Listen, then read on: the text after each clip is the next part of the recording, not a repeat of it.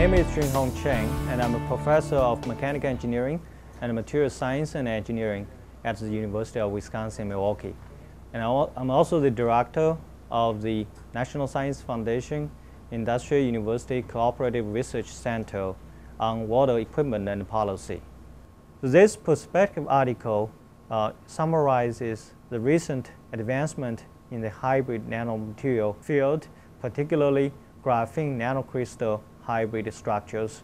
These materials will be able to lead to lithium-ion batteries with a higher energy density and a longer life cycle, and uh, gas sensors with better selectivity, and water sensors that can detect contaminants in water in a real-time fashion, and uh, solar cells, photovoltaic solar cells that can convert sunlight into electricity at low cost.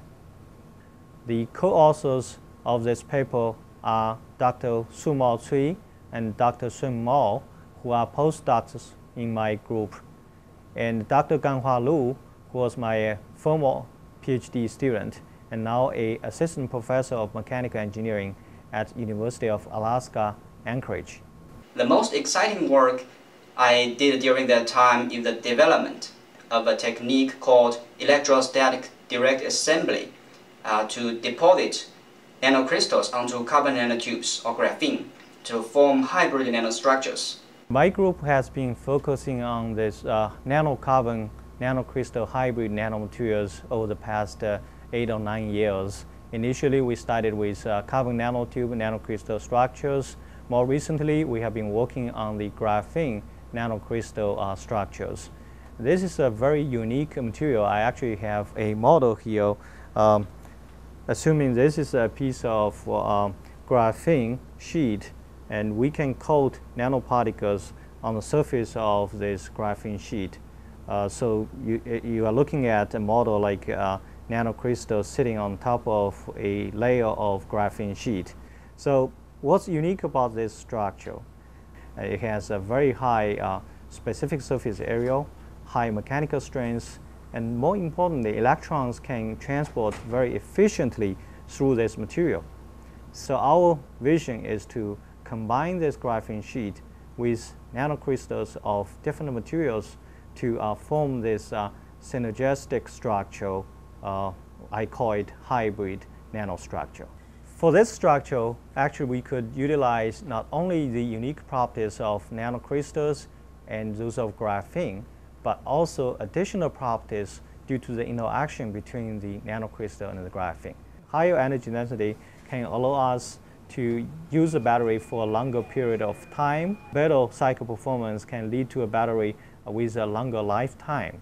So we can produce sensors with high selectivity.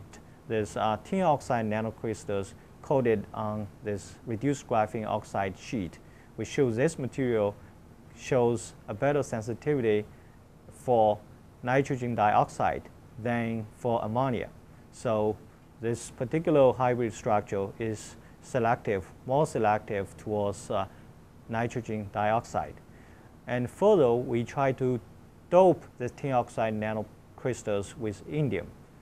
Uh, again, place these indium doped tin oxide nanocrystals on the surface of the reduced graphene oxide.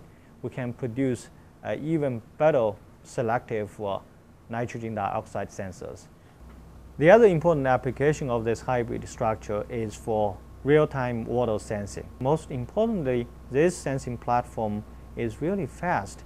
We can see the results in seconds. So that provides a uh, unique opportunity for real-time detection of uh, bacteria or uh, heavy metal ions in flowing water continuously.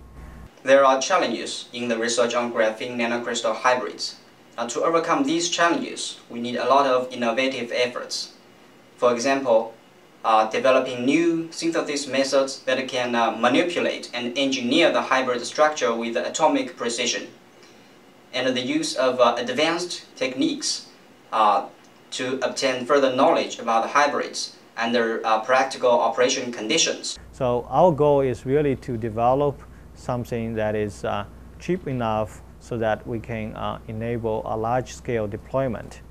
And uh, some of the devices we're developing right now are potentially scalable and cost effective. So overall, the device cost will be uh, uh very low. We are looking at probably uh, $10, $20 a piece at the large scale.